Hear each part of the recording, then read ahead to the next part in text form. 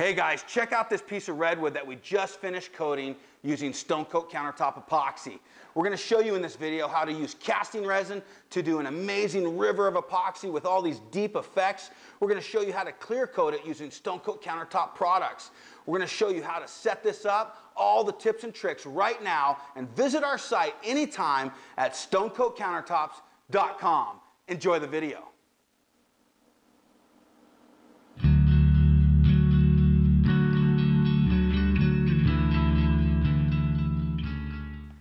All right, we're gonna take this piece of redwood and we're gonna turn this into an amazing table. Right now, it's a smaller piece of redwood. It's about 23 inches on the on the wide end and it's about 19 inches on the short end. And we're gonna add some width to this and we're gonna make a river of epoxy, just a, a really neat element, an artistic element to this piece of wood. It really brings in, you know, nature into a modern element. It's gonna look fantastic. So what we're gonna do is we're gonna cut this piece of redwood right down the center. So I'll make a couple center marks. We're gonna uh, give ourselves a straight line and then we'll take our skill saw and just cut right through this piece of wood so that we can now flip it into itself and the live edges become your, uh, your template for your river. Here we go.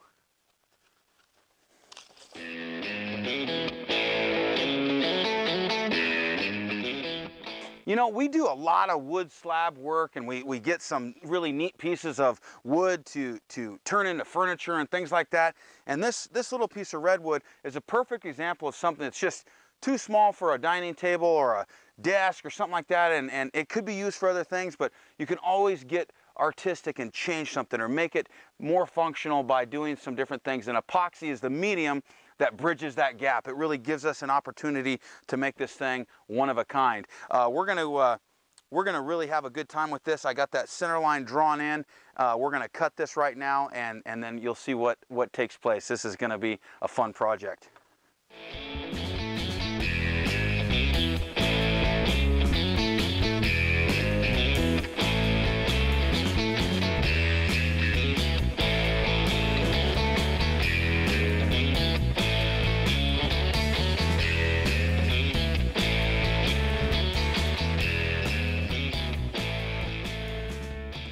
All right, we got these redwood pieces cut and flipped. I really like how this river is gonna look through here. What we're gonna do now is we're gonna transfer these pieces onto our, our bar table. We're actually going to flip it upside down and we're gonna install reinforcement bars. These reinforcement bars will actually hold this steady and hold it true and make it very, very structural and sound as we pour our epoxy. The epoxy is very strong, but we like insurance, so we're gonna put bars. These are three quarter by three quarter square tubing. And so on our router bit, we're gonna use a 7 8 inch router bit. I'll show you that right now. So our router bit is a 7 8 inch router bit, which gives us a 16th on each side of our bar. And because we're going to Bondo these in the underside of our redwood, we need a little bit of space for that Bondo. So we're gonna go um, uh, 7 8 wide on our router for a 3 quarter inch square tube. And then we're also going to go below the surface so that when we Bondo these, we can keep it flush with the surface. All right, let's go ahead and flip these. We'll show you what we're talking about right now. Uh, this is also real important when you're doing any wood slab. You're gonna have cracks and, and, and weak points and places that that slab wants to come apart. If you put uh, your square tubes underneath your slab, it does a couple of things. Whenever you slab a piece of round wood or a tree, it wants to cup and bow on you. This is your prevention. Uh, you can go ahead and spend hours getting this flat and perfect and, and, and, and, uh, and put our stone coat countertop epoxy on it, but you want it to stay put. And so you put these bars underneath, whether you're doing this method or whether you're doing a normal wood slab, and that's going to keep it true and flat. If you don't do something like this, you're gonna find that that wood will still move over time and uh, you'll, be, you'll be disappointed. So use this trick, you'll love it. All right, Mitch and I are gonna flip this over here. That piece will go there. And we'll take care of the underside. We'll flatten everything after, after we're said and done here, but our top is flat, so let's go ahead and get these bars set. We're gonna lay this out. So what are we on this end, Mitch? 23 and a half. So yeah, we got 23 and a half where we're gonna butt these tight, and so we're gonna do the same thing down here. I'm happy right there. Okay, double check that. Perfect. Let's go ahead. You want to clamp that side? I'll clamp the other side. So we're just clamping these to our, our base here so that they don't move as we're routering in our bars. All right, what we're gonna do is we're gonna take this three quarter inch square tubing and you can see these natural fissures and cracks here in our redwood. So what I'm gonna do is I'm gonna just use my scrap piece of three quarter inch plywood as a straight edge. I'll screw this in temporarily so my router can ride this edge to create our, our joint here. But I wanna make sure that I don't go too far so I'm going to give myself a couple of reference lines of where that bar needs to be. As you can see, I've set that bar in from the edge so that obviously we don't want to protrude and see a bar on the, on the, on the uh, exterior edge of our table. All right, one question is, where are we going to lay these bars out? Do we get them perfectly um, centered off of each other? In this case, we won't, and I'll tell you why. We're only looking for the cracks and, and the weak points of this wood, and we'll, we'll put our bars across those points. Um, if you were to see these through a clear river of epoxy, then we would get these bars perfectly centered. But because we're going to color it with our metallic additives, you're never going to see the bars. All right, so I'm just gonna go ahead and put some marks here where these bars are so I don't go too far when I'm routering this out.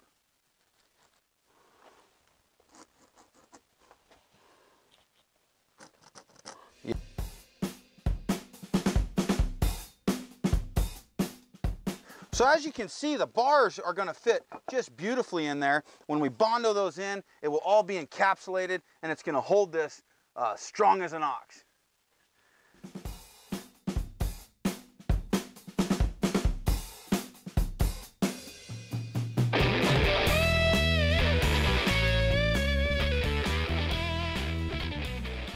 All right, what we're gonna do is we're gonna mix up enough Bondo to start putting these bars in, and I'll show you how we do that. It's, it's real simple. You're just gonna take some of our Bondo, we're gonna put this right here. I'm gonna mix it directly on my wood slab here. You can use a paper plate, you can use whatever you'd like, but we're gonna grind this bottom and, and sand and, and clean up this bottom anyhow. So I'm just gonna go ahead and use it as a mixing surface. Whenever you're working with all-purpose Bondo putty, you want to make sure uh, you don't get the kind that has fiberglass strands in it. We don't really like that stuff. It doesn't do good on a rock face edge, and, and we like to carry products that we can use in uh, multi-facets. So we're going to use this in putting our bars in. We use it on the rock face edge, and we use it in other aspects of installing and fabricating stone coat countertops. But in this case, we love this product, but you don't want to add too much hardener, and you don't want to do too, too much mix uh, that you can't handle, especially on a hot day. If you do too much, it's gonna set off pretty fast. So we're gonna work a couple bars at a time. We'll get these set and we'll move on right down the line here. So I'm just gonna add some of my hardener here. You can see it's not a critical measurement. Um, it says 2% by volume typically, but I've worked with this a lot. That's how much we're gonna use. I'm just gonna take our spatula here and just start mixing this together. It's important that it's mixed up correctly and um, you want to mix it thoroughly. So we just use the spreader here, mix it up, and then I like to back butter the, uh, the notch here where our bars are going to go. I'll back butter that a little bit, and then we'll start uh, putting, putting in our bars. And as you can see on the bars, I've, I've roughed those up with a, uh, my angle grinder that we use to get off drips and things like that that you see in our other videos. I just roughed that up with a 50 grit metal sanding disc. And that cleans the bar as well as creates uh, sanding scratches as like a mechanical bond. So you can see I'm just back buttering a little bit in there and as I force this bar in, it's going to ooze out all the way around that bar. Ah, there we go. Then I'm just gonna take some of this and I'm just gonna go right over that bar. And it's really that simple. It's a great technique to give you great rigidity in your wood slab projects and not fear that when you ship these across the country that they're going to come apart. Hey, while I'm here, might as well just get these cracks and crevices here too, right? We'll do that. All right. So I got that one done. It's oozed out exactly how I need it to underneath there. We're going to mix up some more. Let's do it.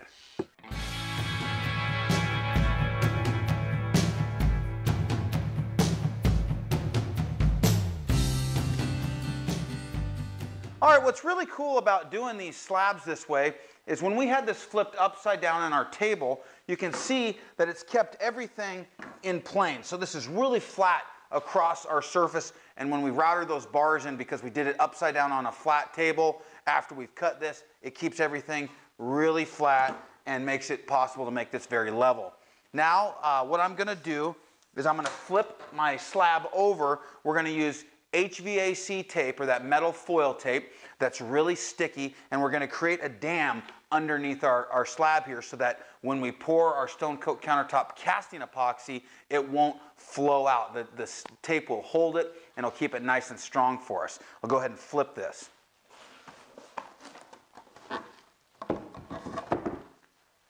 That's what's nice about using these bars is it's just made this very strong, very rigid, and I know it's gonna stay put. So we'll go ahead and get that tape, we'll put it on here and show you the next step. All right, guys, what we're gonna do now is we're gonna get our, our void here taped off so that we can flip this over and pour this. Uh, we have metal HVAC tape. This is just really sticky metal foil tape, and that's what's gonna keep us from leaking. So here we go. Let's, let's go ahead and tape this off.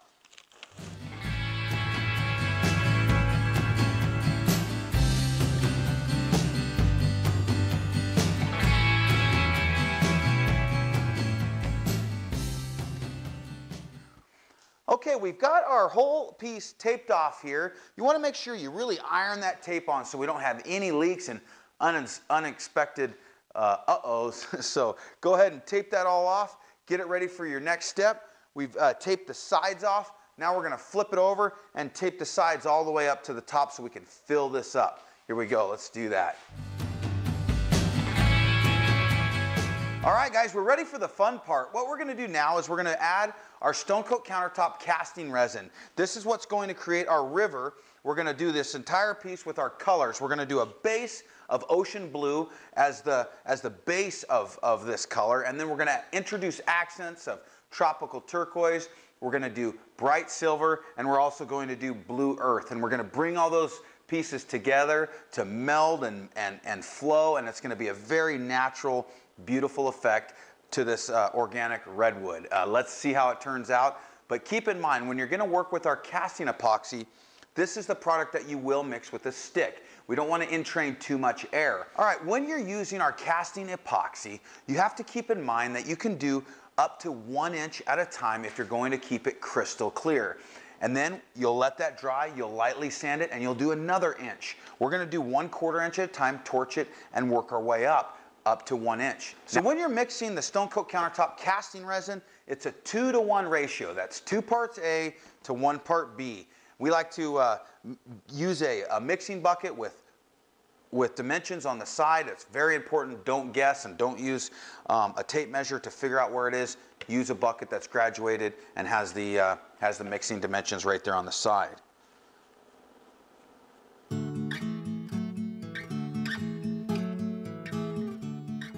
What we're gonna do is we're gonna mix this clear and we'll mix it with a stir stick. We'll mix it for about three minutes and then we're gonna add our ocean blue.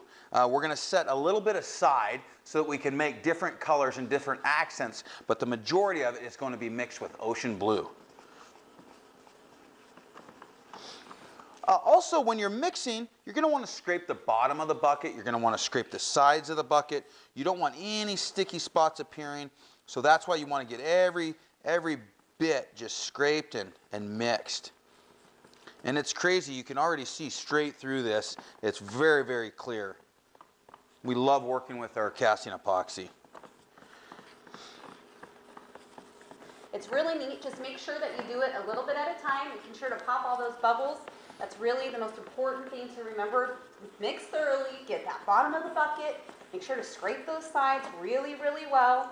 Use our measuring bucket, and you're going to be in good shape. It's going to come out with some amazing projects. This, I'm so excited for this table. We've been waiting a little bit to do this one, and I can't wait for you guys to see how cool this can be. All right, what we're going to do is we're going to add this ocean blue. Let's go ahead and get that mixed in. You want to make sure to mix this really thoroughly um, you don't want them to leave little pockets of uh, metallic pigment in there, so make sure that you continue to stir. You've got plenty of working time with this, so just keep, keep on stirring.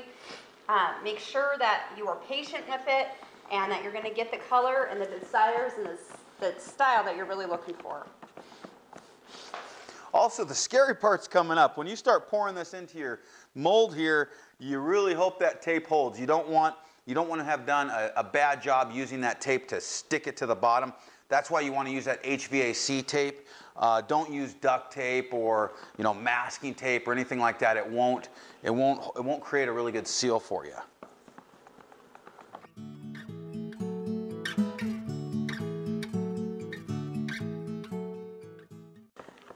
All right, you ready?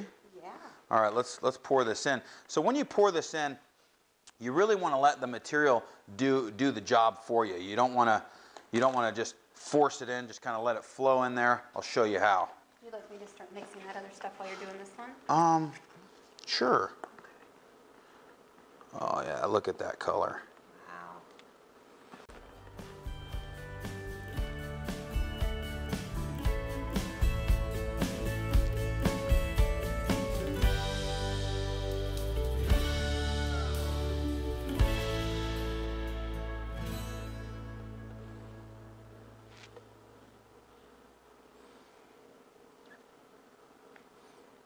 Does look like a river, doesn't it? Yeah, it's so cool. I was looking at uh, the brackets here that we have for support and how it kind of created that dam effect. It's kind of cool. Look at it going over. That's cool.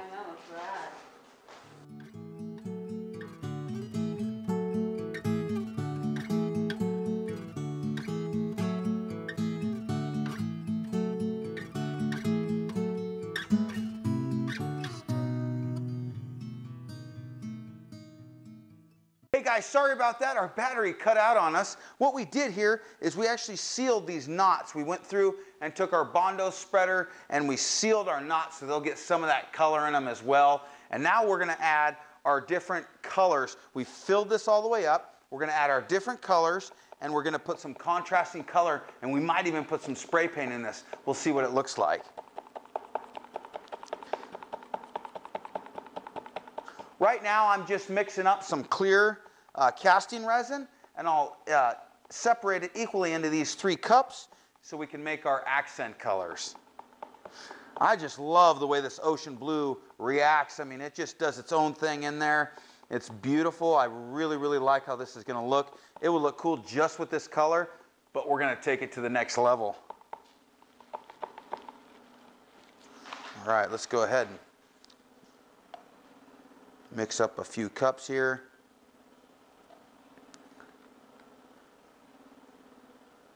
Remember when you're working with this material, you're gonna make a mess. So, so mask off your areas, you know, understand that you're gonna make a mess, get ready for that and be prepared and you'll have a great time.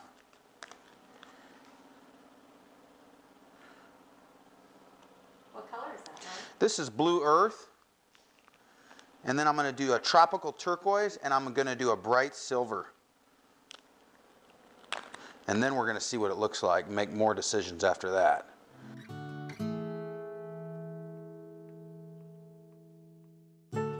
Catherine, which one do you want to start with?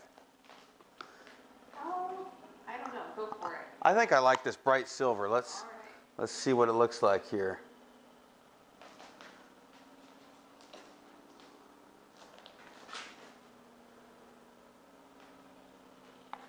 All right, let's do some of this tropical turquoise.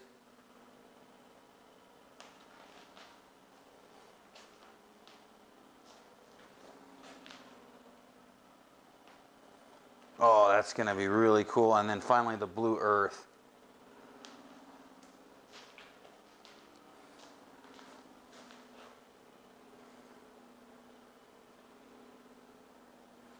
All right. Let's use our stir stick and mix that in there and see what happens here. Oh, goodness. Look at that.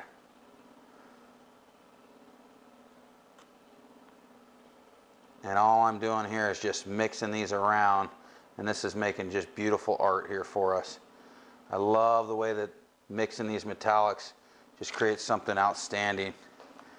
Takes no skill. You just move it around and look at that.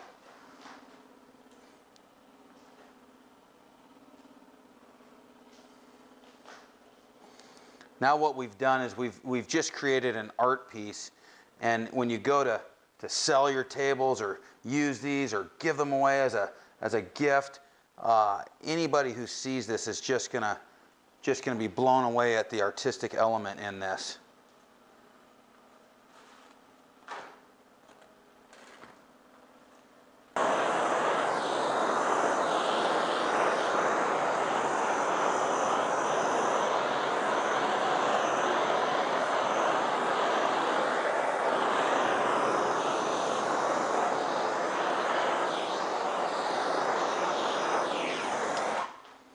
Wow.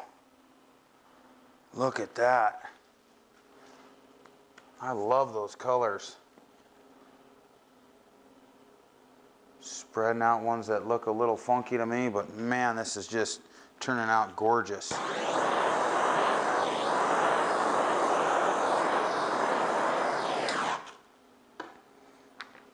Hey guys, we let this set up overnight. It's nice and hard, and we're ready for our next step. What we're gonna do is we're gonna sand all the excess casting epoxy off of the surface.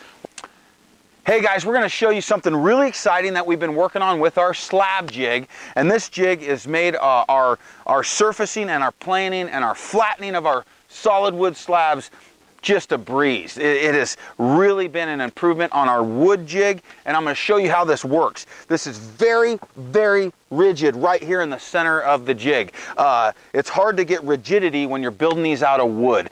It's also hard to get them to roll really, really smooth and not bind up. And so we've done that with this jig, and it's also completely adjustable to whatever router base we're using, and it's also adjustable this way so we can do jumbo slabs. Currently we have it set up for our 4x8 sheet of plywood, so it'll ride a 4x8 sheet of plywood, but it can be adjusted and, and you can extend your table if you have a 50 inch slab, you can do that. You can do, uh, you know, even bigger than that. You can go big jumbo slabs down to a small slab, all done on a standard 4x8 sheet of plywood. Also, we have very rigid rails here that we're sliding on and all of our chips get spit out. It's just, just a joy to work with. We have a full three inch surface planing bit in this router. And this, this bit just eats this slab up and it makes it flat very quickly. And we're gonna show you right here on camera how we get all of our gunk and goo right off this slab and then we'll start our sanding process. Uh, I just wanna tell you, this thing has helped our lives. If you're in the wood slab business, you you're gonna want this jig. You can find it anytime at stonecoatcountertops.com. Check it out. All right, let's go for it.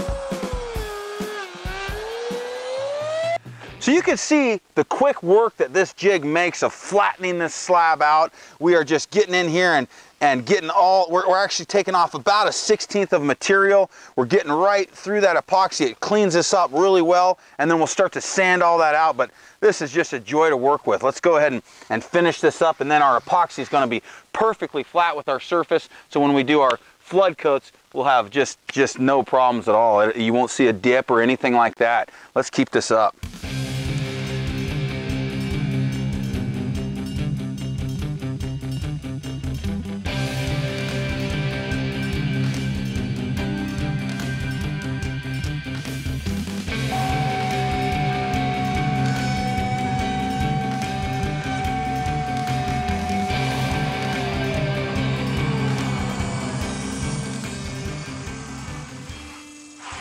Okay, we got our uh, surface all planed down with our, with our jig, and now we're gonna take our 50 grit metal fiber sanding disc, and we're gonna go ahead and get rid of all of our marks from the surface planing bit, and uh, we'll get ready for our next step. So let's go ahead and make short work of this with that 50 grit metal sanding disc.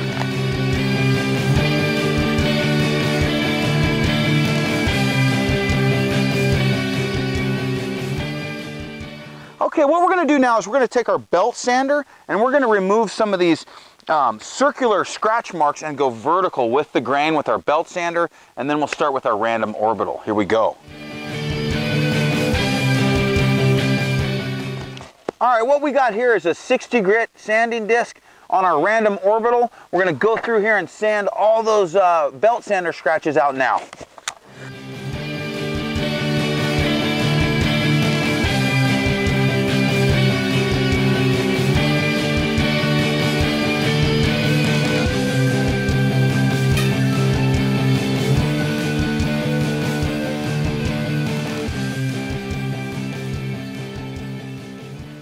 All right, guys, time to seal coat this thing. What we're gonna do when we seal coat is we're gonna use one ounce per square foot.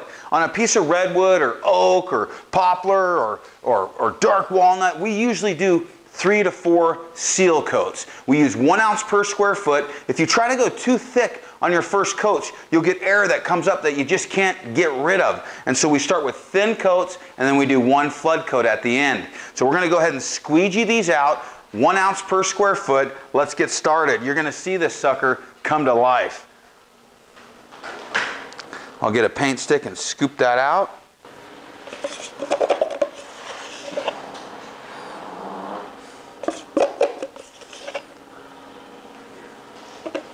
Okay. All right, let's mix that together a little bit. Oh, look at that. Look at that come to life. Holy cow, this is gorgeous.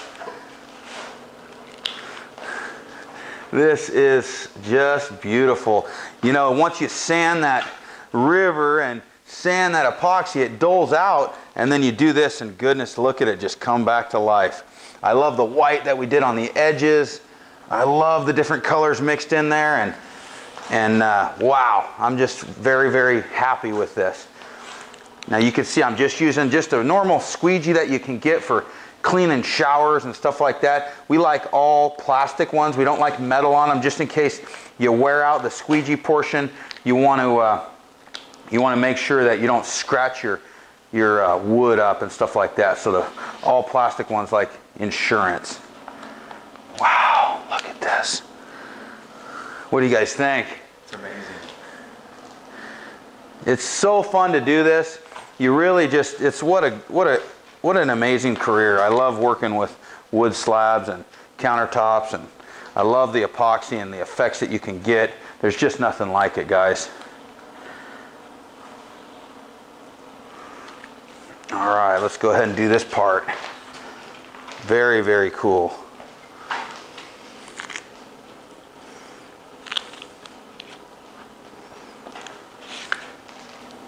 On the seal coats, I like to do the edges with my hand.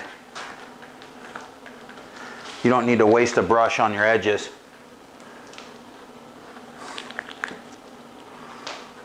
And you can see how one ounce per square foot, it just is enough to get the product, get the uh, table wet, and that's what I'm going for.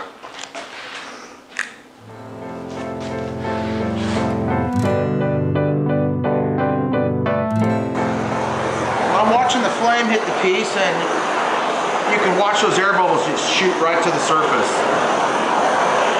What do you think of this river? That river is something else. And when I'm torching, I'm acting like I'm mowing the lawn. So I'll start on one side, go front to back, and over overlap the flame as I'm working my way down. And you can see that flame hit the epoxy and the air bubbles just run right out of there. Man, that vein is something else. You know, it's really important to keep in mind when you're doing a project like this, when you do your seal coats, it's gonna be bumpy, you're gonna have you're gonna have little nibs and nubs from where it's sealing, it's gonna saturate. Some areas worse than others, uh, some, some's gonna look dry, that's normal. You're gonna do this three times and then we're gonna flood coat it, and when you hit that flood coat, that's when, uh, that's when it magically is, is finally finished. Oh, I like this, I like the different colors in there. Guys, our seal coat is dry. We're going to sand it to get ready for our next seal coat. And all we're going to use is 220 grit and just come in here and rough it up. So all we're doing is just scratching it, getting ready, getting rid of any little nibs and nubs that we don't like. And I have some high and low points, and there's some points that look dry. That's all normal. That's what you get in the seal coat. So we're gonna go ahead and sand this up and do another seal coat right now. Here we go.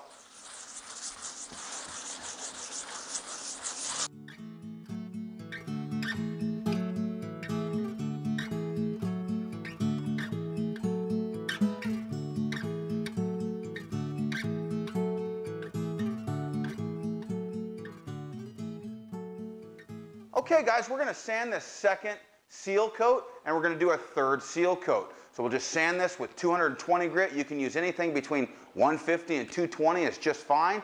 We'll mix up another one ounce per square foot. We'll spread it with a squeegee and let it dry. Here we go.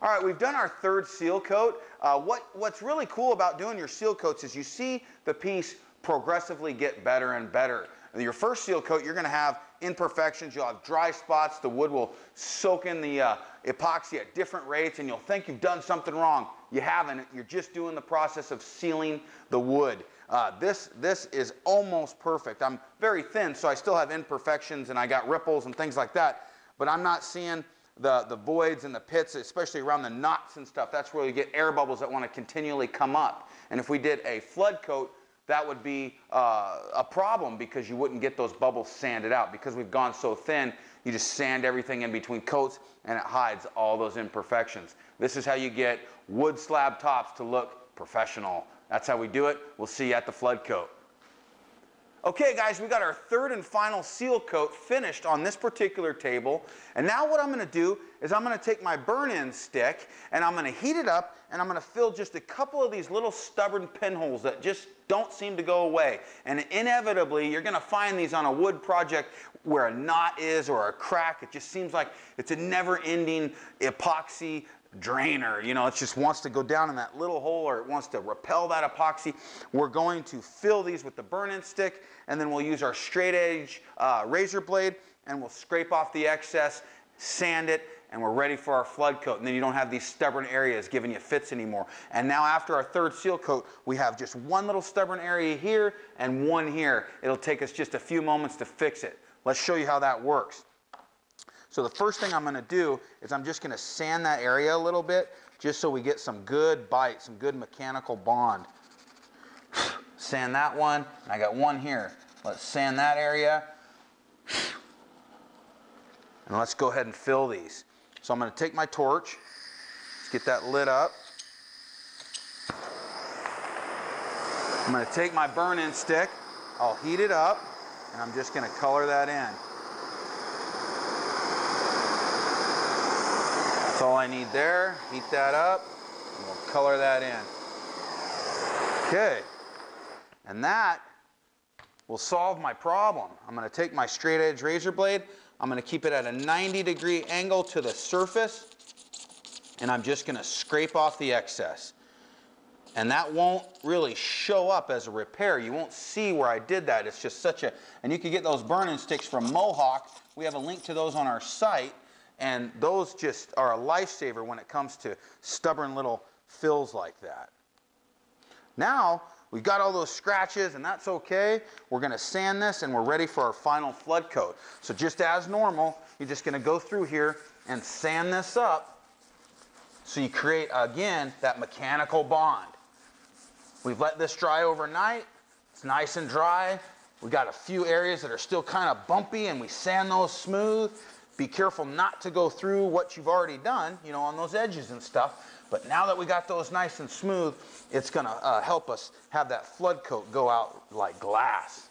And that's how you get real perfect finishes. You wanna sand all the little nibs and nubs off these edges. Doesn't need to be perfect, but you'll feel them with your hand. They'll be kinda, kinda nubby, and just a couple passes with that sandpaper and all of a sudden it'll be nice and smooth and, and ready for that final coat. Some real porous wood, you may need to do four seal coats. Heck, you may even do five seal coats. But the seal coats don't require a lot of material and they really help you out to prep for that final flood coat.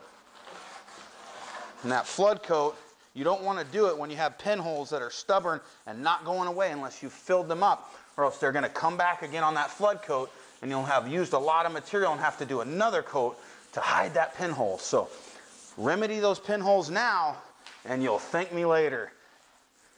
All right. All right, we're to wipe off the dust and we'll be ready. Here we go. Okay, we got our stone coat countertop epoxy mixed up, ready for our flood coat. On this coat, we're to use three ounces per square foot. So we have about a 12 square foot table. You'll use 36 ounces. That would be 18 ounces of part A and 18 ounces of part B. Let's go. Pour this out. We'll use our paint stick. We'll scrape out the excess right into the mass. And then we'll remix it on the table with our trowel as well as our brush. We'll trowel this out and then we'll torch it. Okay, let's mix up that excess that we just put in there, that we scraped in, so that gets nice and mixed. Now we're just gonna start troweling this out. We don't go all the way to the edges quite yet. We're simply gonna get the material out close to the edge, and then we'll come dress our edges up. So I'm just moving this out here, getting it close to the edge, and then I'll push it over the edges after I've done the entire surface. All right, now I'm just pushing it over those edges so I have enough to coat my edges. Come over here so I can see what I'm doing. You notice I keep my trowel over my piece so you don't get drips everywhere where you don't want them. All right. And the 1 8 inch square notch trowel, it really gauges this at the pro proper height for you so you know you're not wasting material, but you know you're not leave, leaving it too thin where it won't level for you. This, this takes a lot of the guesswork out of it, makes it very simple. Now I just mowed the lawn so that I, I know I have it all even out there. Now I'm going to chop it. So when we chop our material, I like to prime my brush so I don't pull the material away from where I start chopping it. So I'll prime it here. Now I'm just going to start chopping this. And what this is doing is it's getting rid of any of my marks that I could have left from the trowel. And it's also remixing this material right here on the surface. And you want to make sure you go all the way to the edges and overlap those edges when you do this because it will force material over your edges, but it will break any surface tension. Surface tension likes to kind of create itself and become apparent at those edges. And if you break that, it'll flow over your edges very, very well. And I know we're putting bubbles and we're kind of making the surface uneven, but because we have a nice even coat, it just levels out very, very well for us. So I'm just going down the line here. I'm gonna do this and, and chop this uh, out and then I'll come and I will brush our edges and, and, and those, uh, I'll have drips and stuff coming down right now and brushing those edges is going to make them um, very smooth. And we'll do this a couple of times on the edges as well because as we torch this and material goes over the edge, you want to finish with those edges to get them real smooth.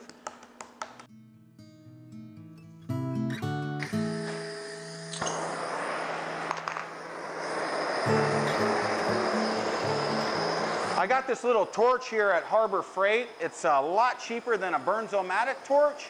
Um, the igniter doesn't work very well. It works okay, but I just got one of these little welding igniters and, and that lights it right up for me. So this is a, a great torch if you don't want to spend a bunch of money on a Bernzomatic. You can get a cheaper one at Harbor Freight. Just make sure the torch you get has holes here towards the base where it meets your nozzle, because then you can hold it upside down without your torch going out. And that's popping those bubbles just beautifully. You got to make sure you torch your piece at least three times. You don't want to leave your torch in one spot a long time.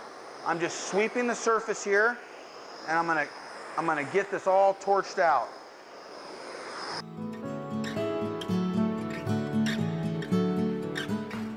Now is a good time to look for any loose bristles that may have gotten in your surface. That's uh, real important to get those out now. And then uh, we're going to keep the air movement off these pieces. You don't want fans and heating and air vents and uh, dryer ducts from uh, like lint uh, from a dryer, anything like that going on in the space where this is going to cure. You're going to want it nice and still and nice and warm um, so that it will dry properly and, and nice and hard. And, and you want to keep that going for, for a few days while it's uh, curing. After, after it's set up, after about 12 hours, you don't have to worry about the dust, but you still want to keep your room warm so that it cures properly.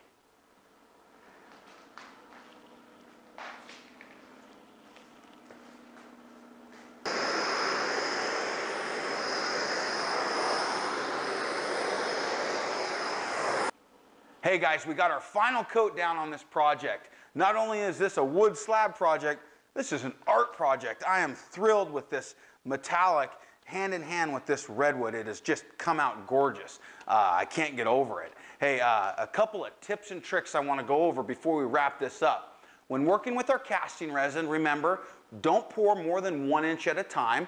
And as you're pouring that inch, every quarter inch, get in there and torch it so you can build those layers up and pour an, another quarter inch right on top of that immediately up to one inch at a time. If your project is deeper than an inch, wait till the next day, sand it, and repeat that process till you fill your project. You always want to cover our casting epoxy with our normal stone coat countertop epoxy. That's where the heat resistance, the scratch resistance, and the durability is found. Uh, when doing a project like this, take your time. Make sure where you've, where you've got the piece uh, on your table, it's flat, it's formed up where you can't get any leaks. If you need to, where those cracks and crevices are, you can use uh, modeling clay, you can use Bondo, you can use anything to seal between your table and that tape so that you ensure that you don't get leaks as you're filling it with casting resin. You could always then flip the piece and any voids from that clay, you can pull the clay out and the tape and fill it from the bottom side if you so de uh, desire. Um, okay, other tips and tricks. Make sure that you torch your, your project on the final flood coat three times. That will ensure that you don't get those divots. Sometimes people will just torch it one time, but there's still air trying to escape. Come back and torch it three times. Brush your edges horizontally, and that gives you really clean, crisp edges. Uh, and take your time and have a good time when you're doing this project. It is, it is so much fun, and those seal coats are key without doing a flood coat first and trapping all that air in. Let this slab off gas, get all that air out, and you're gonna have a flood coat that's completely flawless. I have no pinholes that are leaking air. Those two problem areas were very evident after the third seal coat. Uh, give us a call anytime with questions. We're happy to walk you through your wood slab projects. If you're looking into getting into wood slabs as a side business, give us a call. We'll steer you in the right direction. Uh, feel free to visit our website anytime at stonecoatcountertops.com. And remember, until next time from Stonecoat Countertops, you got this. All right, we'll see you later.